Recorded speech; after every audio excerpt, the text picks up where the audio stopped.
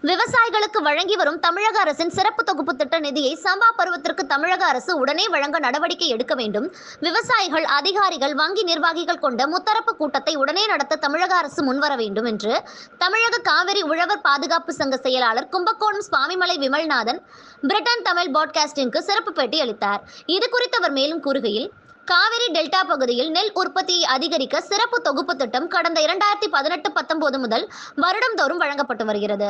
தற்பொழுது இந்த ஆண்டு சம்பா பருவத்திற்கு சிறப்பு தொகுதி திட்டம் நிதி இந்த ஆண்டு இதுவரை வழங்கவில்லை என்று சுவாமிமலை விமல்நாதன் தெரிவித்தார்.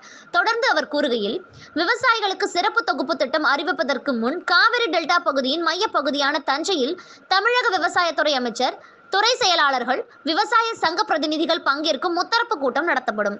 அதே போல தற்பொழுது உடனடியாக அமைச்சர் பங்கேற்க முடியாவிட்டாலும் தமிழக அரசின் தலைமை செயலாளர் திரு சிவதாஸ் மீனா தலைமையில் முத்தரப்பு கூட்டத்தை நடத்த தமிழக அரசு முன்வர வேண்டும். காரணம் திரு சிங்தாஸ் மீனா முதல் முதலாக மாவட்ட ஆட்சியராக டெல்டா மாவட்டமான நாகையில் பணிபுரிந்தவர். அவருக்கு விவசாயிகளின் முழுமையான உணர்வுகள் புரியும்.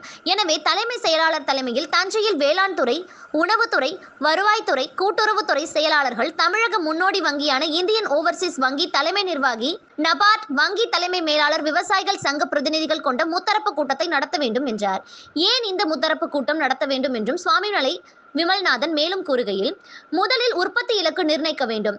இதனை அடுத்து கூட்டுறவுத்துறை வங்கி தமிழகத்தின் முன்னோடி வங்கி எவ்வளவு கடன் வழங்க இருக்கிறது? இதற்கு நபார்ட் வங்கி எவ்வளவு கடன் நிதி வழங்கும் என்பதையும் விவசாயிகளுக்கு எவ்வளவு சிறப்பு தொகுப்பு திட்டத்தின் கீழ் நிதி ஒதுக்கலாம் என்று கருத்துக்கள் பரிமாறி முடிவு செய்ய வசதியாக இருக்கும் என்று தெரிவித்தார்.